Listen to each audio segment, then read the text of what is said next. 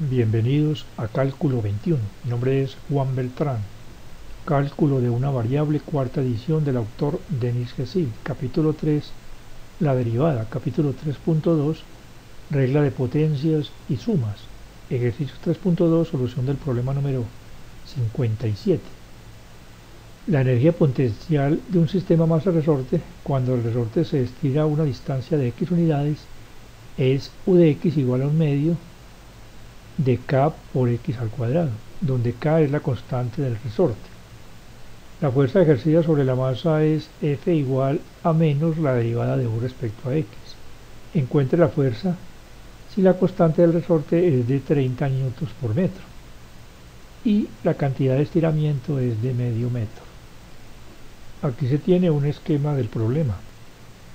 El resorte, la masa, el estiramiento del resorte y la fuerza ejercida sobre el mismo, sobre la masa. Y como la fuerza ejercida sobre la masa está dada en términos de la derivada de la función de la energía potencial U, entonces para encontrar la fuerza o la función de la fuerza debemos derivar U. Y U de X es igual a un medio de k por x al cuadrado. Y como k es una constante, la derivada de u respecto a la x es igual a, se baja el exponente a multiplicar el coeficiente, 2 por un medio es igual a 1. Así que es igual a k por x.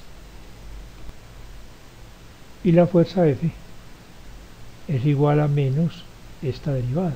Esto es menos k por x.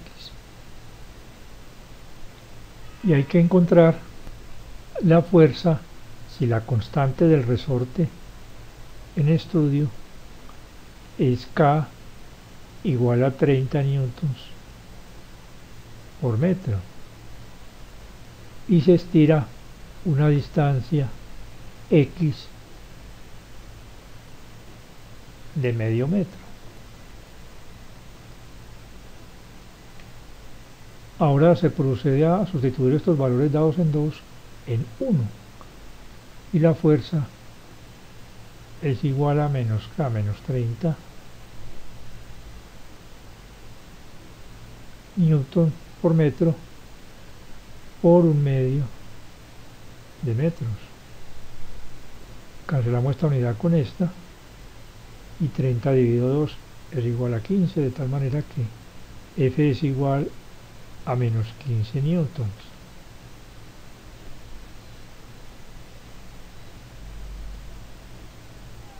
De esta manera concluye la solución del problema.